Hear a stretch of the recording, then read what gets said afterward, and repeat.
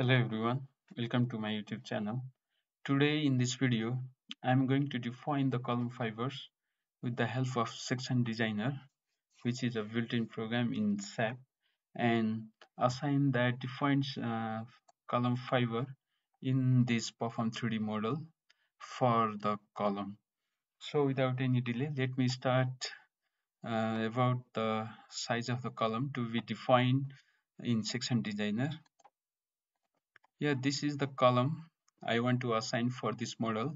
The size of the column is 300 by 300 mm with 8 numbers of 16 mm dia wire uh, as a longitudinal rebar and the lateral ties of 8 mm at the rate of 100 uh, mm center to center. So uh, these uh, things can be defined in SAP so the concrete grade is M20 uh, in Perform 3D I have defined the concrete grade as M20 and the mm, reinforcement bar is FE500 so let me go to the SAP for the fiber definition for this column cross section.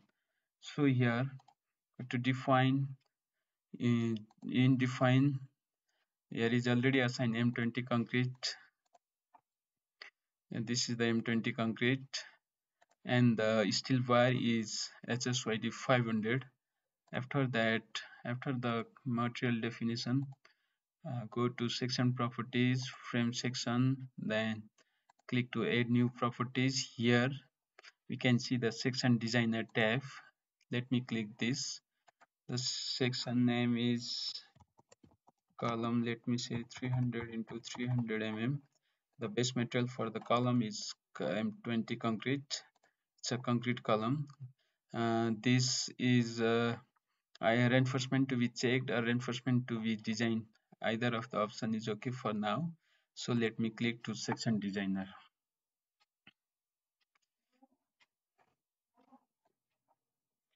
So here in the section designer go to define tab. Sorry draw tab. We can draw the any type of shape from here. For now i can choose this shortcut tool. Draw the default section. Right click this section to edit as per our requirement. Okay then it's m20 grade. Size is 300 by 300 and click reinforcing as yes. Then go to Mander confine. For the Mander confine the confinement bar is lateral ties is 8 mm the bar area is 50.3 spacing of 100 mm the red center to center. Let me click ok. So let me edit this reinforcement bar.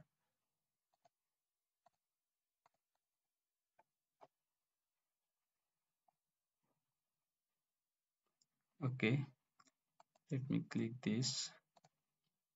The vertical reinforcement bar for the column is 16 mm diameter and clear cover is 40 mm apply to all edge okay. Then click on corner bar change into 16d apply to all corner then it's okay. So for the fiber definition we have to define the number of fiber in x-axis and in y-axis so if we assign the fiber number as 3 for both the direction we can get 25 numbers of fiber 8 for the steel fiber 8 are the steel fibers and remaining 17 are the column fiber. So so let me check these fibers. Okay there are 25 numbers of fiber uh, 8 for the reinforcement fiber. These are the fiber for uh, rebar there are eight numbers of fiber and from uh, number nine these are the concrete fiber which is confined and unconfined concrete. The nine is confined concrete and this one is unconfined concrete similarly confined and unconfined concrete. But here in 17 number it's a confined concrete for the central core and for 18 also it's confined then 19 it's unconfined. So let me copy this uh, value into excel for now. Let me click this.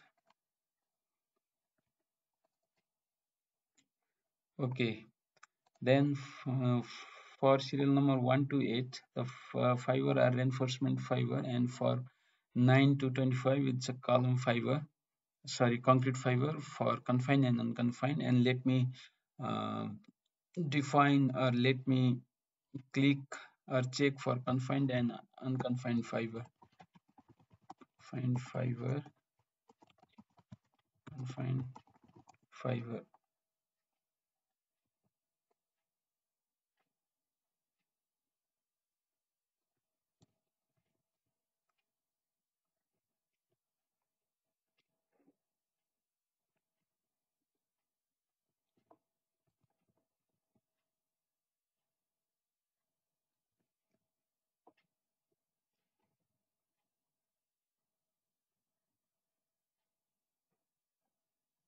okay the confined and unconfined fiber are separated here and these values are to be assigned in the perform 3d model. Okay let me go to the perform 3d here for the definition of fiber let me check the component properties for perform 3d before defining the fiber we have to assign the column section as elastic element. Uh, if we go if we go to the column fiber then the column fiber can be assigned like this. This is the column with the inelastic fiber section element for top and bottom and in intermediate zone there is a linear elastic frame element.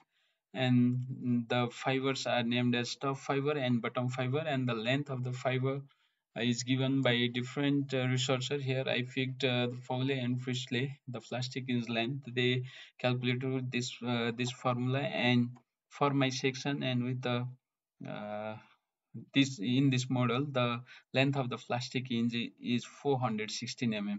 So let me assign this value uh, in perform 3d but before that we have to uh, assign the fiber which was generated in SAP in uh, perform 3d as column fiber in elastic element. So without any delay let me go to the perform 3d here let me go to column cross section. First of all we have to introduce the column as elastic element. Column elastic. Okay. The size is 300 by 300 mm. Let me calculate the values and uh, if we input the size of the column and click on calculator all the properties sectional properties are often here with the program itself. And let me put m modulus of elasticity as 25491 for concrete Poisson's ratio is 0.2 and check this button. The shear modulus is 10623 with the formula. Okay.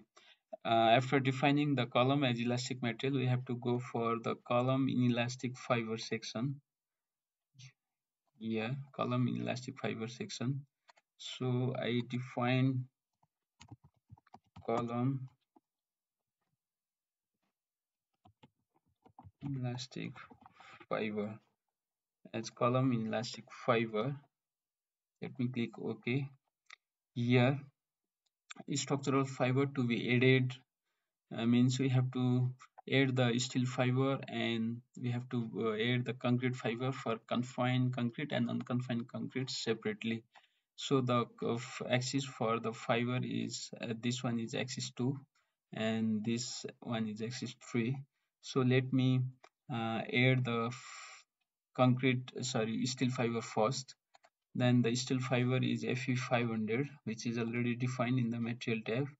So in here looking at the excel the area of the steel is 201 and the coordinates uh, along the direction both directions are 102 it means 201 102 is also 102 okay.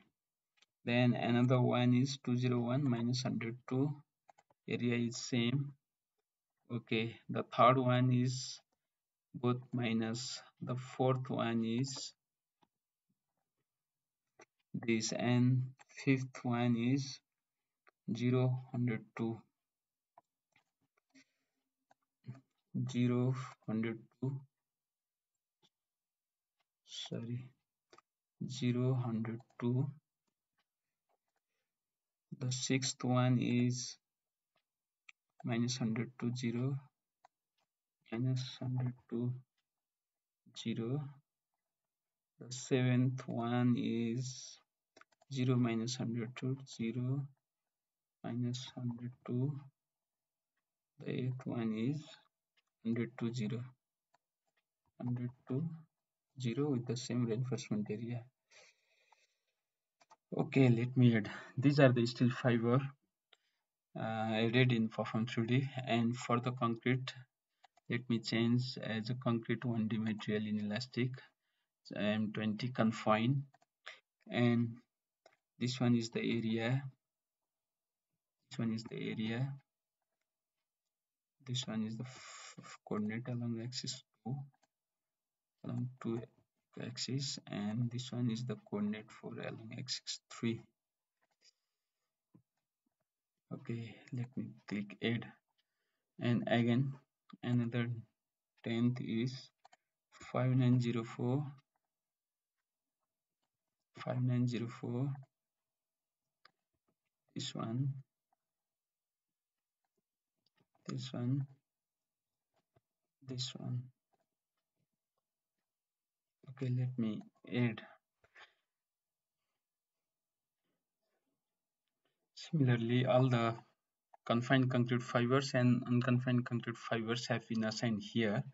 And here if we see in the section properties the assigned concrete fiber area and the steel fiber area is here.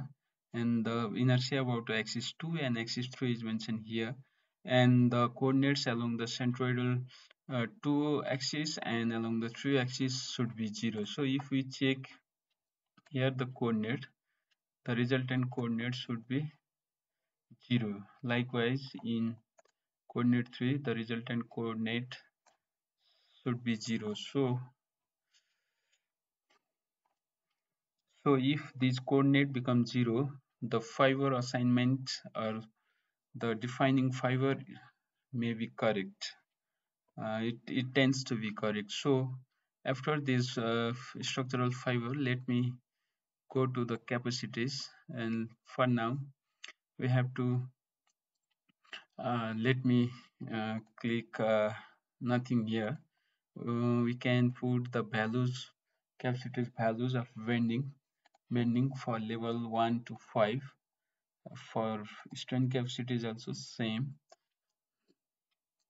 Then for the shear and torsion and these uh, sectional properties we have copied from the elastic cross sections and this uh, torsional area and the shear modulus also we have copied from elastic cross section. And for the properties the size of the column is 300 and uh, 300 by 300 so by this the structural fiber can be assigned uh, can be defined in perform 3d after that to complete to assign the fibers in our model we have to uh, define the column member like this.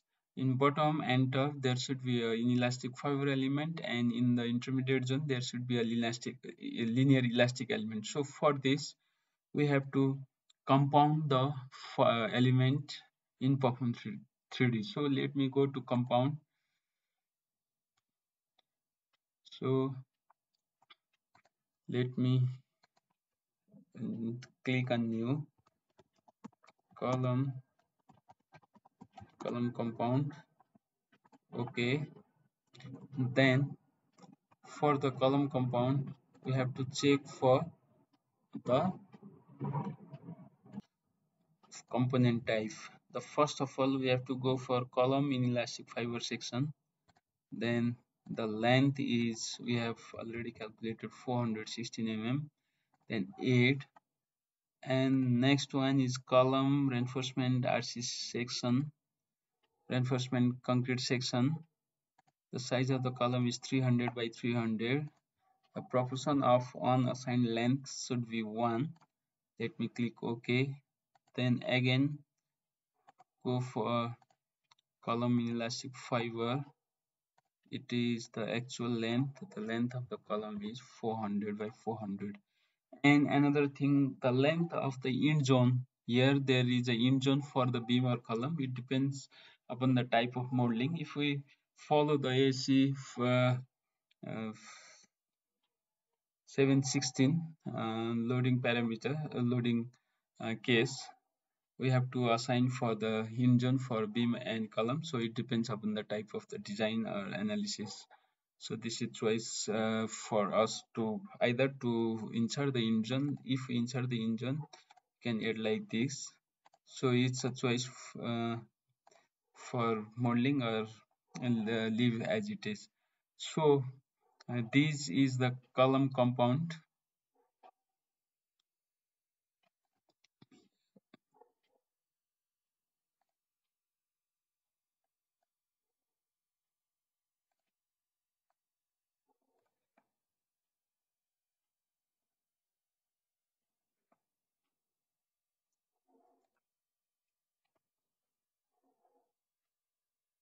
so this is the column compound for 300 uh, column at the intermediate zone and the column fiber at the top and column fiber at the bottom. So if we go to the other tab for example the self weight so we have to put the self weight for the column for our column section. The size is 300 by 300 mm and while calculating we got 2.25 kilonewton per meter or 2.25 newton per mm. So let me check. Okay if we if we click this this one is the fiber elastic fiber and this yellow one is the elastic uh, section and again this one is the elastic fiber. So if we assign the end zone the end zone also comes at the end so let me save. Then after this we have to assign the column properties in the frame section. So here let me go to the column. Yeah this one is the column. Let me click this. Click this. Uh, type of the compound component is frame member compound component then assign frame member the column we have just defined column compound then assign. Similarly go for next column select it assign frame column compound assign. This way all the column member can be assigned with the properties of the column column uh, for inelastic fiber section either it's a hinge or it's a fiber in this model I have uh, modeled the column each and every column as a separate group. So we need to assign the separate column fiber. If we have the one group for all the column then we can assign all the column compound uh, once at a time. So for example for the beam also same uh, type of modeling is done here because uh, I want to see the energy dissipation of this structure so for the energy dissipation of individual column or individual beam or individual hinge, it may be useful to model the structure like this, making as an individual group for either beam or column, or if we have a shear wall, or if we have a coupling beam, we have to uh, assign, we have to define as a separate element so that it can be easy for us, it can be easily visible about the energy dissipation of the structure and uh, as well as the deformation local deformation of the structural element.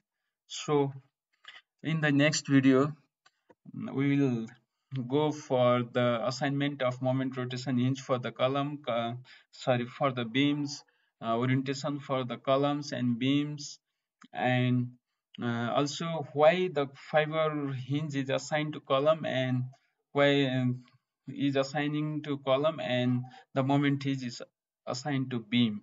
So uh, for that we have to uh, wait for the next video.